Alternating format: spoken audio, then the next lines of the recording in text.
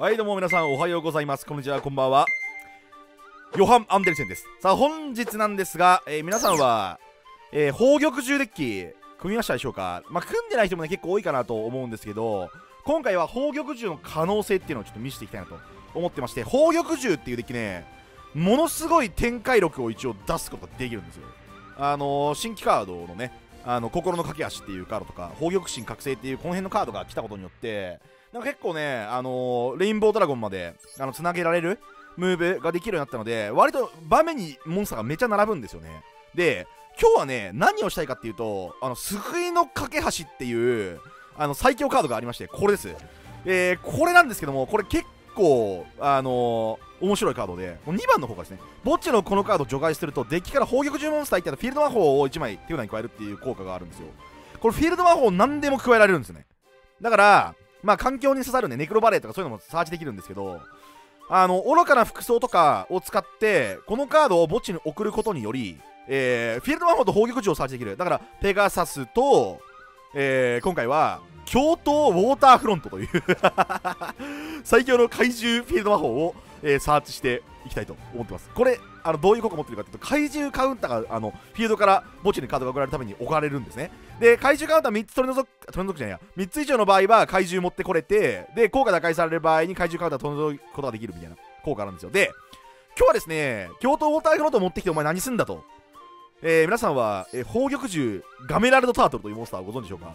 この宝玉獣ガメラルドタートルなんですけども、あの怪獣カウンターがああの乗ってる京都ウォーターフロントがあるとマジで無敵の効果を発動することができまして、え、4番目の効果ですね、え、相手が、えー、宝玉獣ガメシラルドタートル以外の魔法トラップモンスターの効果を発動した時自分相手フィールド上の怪獣カウンターを2個取り除くと、え、発動を無効にし除外するこの効果は大事がありません。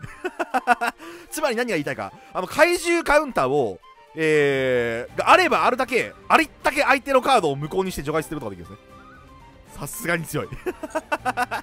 まあ基本的には5個までしか乗んないんで京都ウォーターフロントがまあ一応2回までは絶対無効にできるんですよカードを。で一応あの京都ウォーターフロントってカードフィールド上からあのカードが墓地に送られるためにカウンターが乗るので、まあ、体感これ1体だけで3ボーガーみたいな感じですね。体感。であのガメラルドタートルくん怪獣なんで怪獣で処理できないんですよ。でこれがめっちゃ強い。はい、で怪獣で処理されると結構こういうモンスターって割ときついんですけど怪獣だから怪獣で処理できないっていうこれが最強ですね。はい。で、えーと、展開方法は、えーと、宝玉獣の展開をめちゃくちゃ頑張って横並べまして、ほんで、えーと、スカルデットを出しまして、スカルデットで、えー、手札のガメシェードを爆誕させるっていう、こういうムーブですね。はい。で、先行でこのガメラルトタートルを出して、ドヤ顔で相手のカードをひたすら無効にしていくということを今回はやっていこうと思ってます。はい。めちゃくちゃ強いので、ぜひご覧ください。デュエル、3枚。あー。ハンドはね強いです。一応、まあ、金満で謙虚なツボでオロフクか、まあ、救いの架け橋あたりを引いてこれると一応ガメラ爆誕する可能性がある。って感じです。エクストラは割と余裕あるんで、まあ、何入れてもらっても別に結構いいです。あー増殖する字はね普通に無理だね。えっ、ー、とねここで墓穴打つしかない、まあ、展開めちゃくちゃするから特殊召喚結構多いんですよ。だから増字はかなり重いめ重めのデッキとなってますが。はい。で、えっ、ー、と増殖する除外してで、えっ、ー、とガメラ京都ウォーターフロントあーまあじゃあ別に京都ウォーターフロントでもいいな。あじゃあオロフクだ。これオロフク、えーと、こっちの方がアドバンテージ稼げますね。でえっとオロフクを打ちます。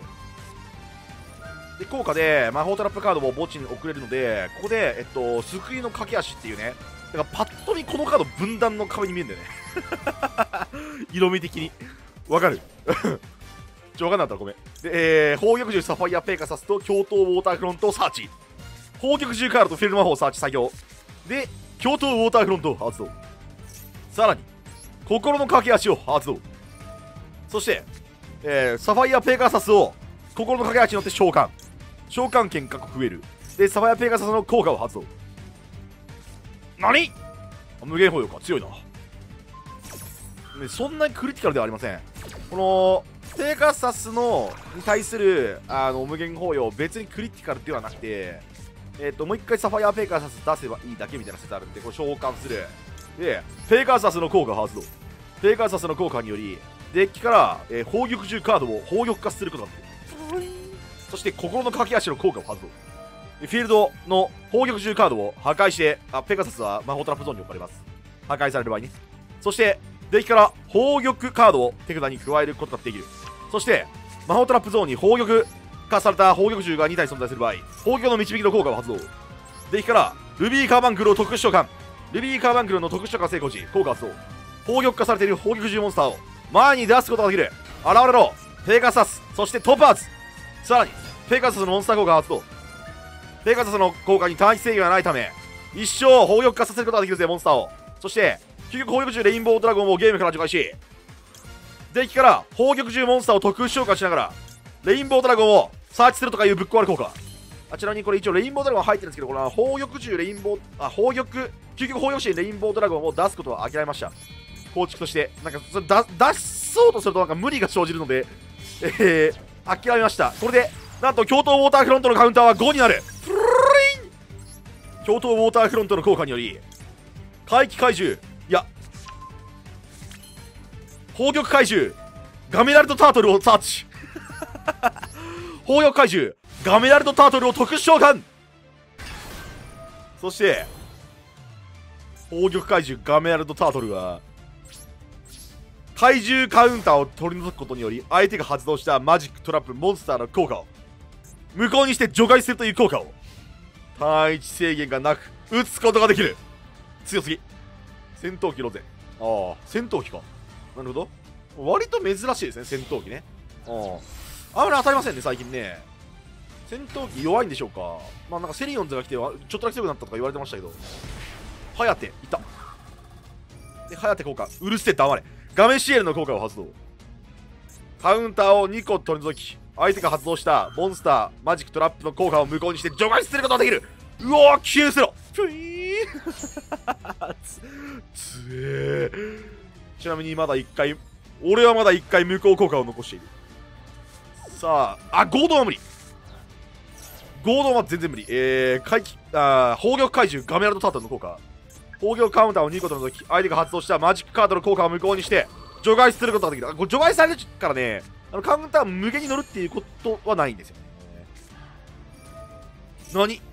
あでもこれであのー墓地行くのであのもう1個乗ります。カウンターが。あのこれはあの墓地行くじゃないですか。エンゲージは。普通に発動した後にね。これサーチカードなんでなんか持ってくるんですけどこれ持ってくるとカウンター乗るんですね。はい。はい。で発動持ってきたホーネットビットは無効です。地獄。まさに地獄。ガメラルドタートル最強。対戦ありました京都ウォーターフロント数匹強そうだなこれ。普通にガメラルドタートル出しに行けそうじゃねこれ。なペガサスでいいのか。ペガサスっていの若干めんどくせえな。えー、っとペガサスないとさすがに無理か。心の駆け足発動してルビーカーバンクル召喚権増えてるから召喚する。ルビー破壊してえっといやこれあれだな。これ多分あれだな。あのー、宝玉。で泥酔宝玉獣バグースかだな。しかねえあサファイアペガサスを持ってきながらえー、っとあ、これしかねえな。こうしてそして宝玉獣究極宝玉獣レインボードラゴンの効果を発動するぜ。このモンスターをゲームから除外することによりデッキから、えー、宝玉獣モンスターを特殊召喚しさらに、えー、究極宝玉神レインボードラゴンをサーチすることができる。そしてサファイアペガサスを召喚効果発動。サファイアペガサスの効果によりサファイアペガサスをセッティング。そしてレベル4のモンスターに対してオーバーレイエクシズ召喚。泥睡魔獣。バグースカ特殊召喚。カードをセット。えっとちょっとねあのスカルネットまで繋がんない時もあるんでハンド的にね、まあ、そういう時はまあこうやってバグースカを立ててドヤ顔でエンドしておくと、まあ、意外と相手止まってくれるんで、はい。まあ、これやっておけばいいってことですね。はい。相手がねリンクテーマとかじゃなければ意外とあの展開止めなくてバグースカさえ突破できないみたいな話があるのであサイバネティックホライゾン来た。サイバーダークだこれね割とねあのレジェンドアンソロジールールではめちゃくちゃ強かったですね。このテーマね。カノンね。ちょっと一旦ちょっと集結だけオープンしとこう。オープンしとこう。集結はなんかあの2番目の子がなんかあの即座に発動でなった気がするから一回オープンしといていつでもバウンスできるような体勢を整えておいた方がいいと思われる。サイバードラゴンなんだ。なるほど。サイバードラグーン。これなんかサイバードラゴンサーチしていく人あんまり見たことない。コアじゃない。まあでもコアは結局サーチしたところであんまりバグースカーで向こうなってもいいのか。はいはいはいはい。でサイバーダークドラゴン。ああえ？サイバーエンドじゃないんだ。なるほど。サイバーダークドラゴン謎に墓地に送られていきましたけども。あんまり見たことない動きしてんな。サイバードラゴンは横になる。集結あるんでまあなんかやばいそうなモンスター出てこようとしたらバウンスできるんでまあ割となんとかなりますね。まあ、わらびみたいな動き方もできるんで、宝玉銃って。デッキとしては罠軸みたいなのもあるんですよね。宝玉銃デッキ。うわ、やばいカード来た。オットアイズアドバンスドラゴン、やばやばいカード入ってんな。いや、向こうだよ、それ。ドヤ顔でオットアイズ出してるけど、向こうですけど。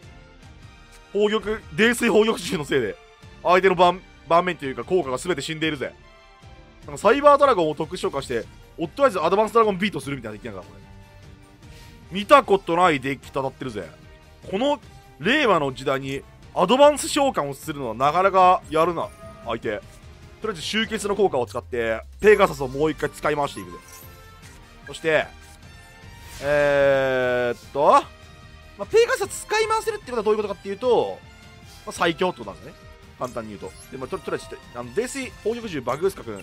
えー、さすがに起きてもらわないと困る気がするな。まあ、とりあえずちょっとガメラルドタートルをサーチして。ガメラルドタートルをサーチしてで縦にしてでサファイア召喚バゴン。で効果発動サファイアの効果により、えー、自分のフィールド上に、えーと、砲玉銃を砲玉化させることができる。そして心の駆け足の効果を発動。相手のモンスターと心の駆け足をバウンスできる。さらに心の駆け足を発動。そして心の駆け足の効果を発動しフィールド上の砲玉獣モンスターを破壊することによりデッキから砲玉カードをサーチすることができる。バコーン。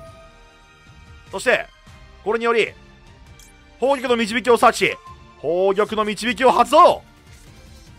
この効果によりデッキより現れろルビーカーバンクル。特殊召喚成功時効果を発動。砲玉化されている砲玉獣モンスターを全て特殊召喚できる。おいけーお前らつー！そして砲撃銃サマヤペガスの効果発動。自分の墓地のトパーツ大会を砲撃かそして砲撃回収ガメラルドタートルをアドバンス召喚！これ初めてやった俺。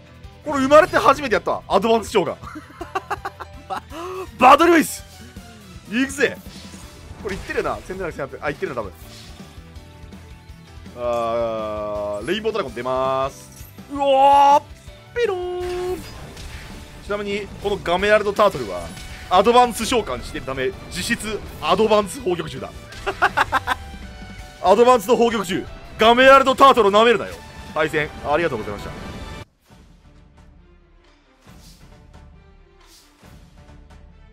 うんなるほど。これガメラルドタートルは来てはいるがこれウォーターフロントにアクセスがしづらいな。前には並ぶんだけどななんかこっからなんか強い展開みたいなのがやっぱねあんましないんででここここでどうしたらいいか問題は割とあんだよね。でここちょっと2枚ドローするわ。でなんかあの妨害か京都ウォーターフロントかちょっと引きたい。頼めあー、え、もう、うん、なるほど。えー、っと、ちょっと一回究極宝玉銃くん捨てまして、あ、撃ってねえか。うん、なるほど。確かに。デュガレス2枚使ったからな。これバグースかの方がいいかな、俺。これ、これやりすぎ？これ。これやりすぎな気がするな。これちょっと、これこうやっちゃうと、なんかリソースなくなっちゃうんですよね。こっちのデッキの。まあ、これでお祈りエンドするか。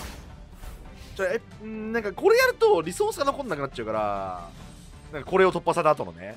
だからなんかあんまり良くない気がする。なんかバグースカとかで止めた方がまあ相手は困るかなと思うんだけど基本的に。え？ガメアルドタート来た。ガメアルドタートじゃないか。まずい。それは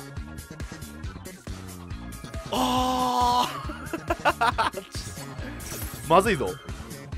このガメアルドタートル俺たちを裏切ろうとしてるぞ。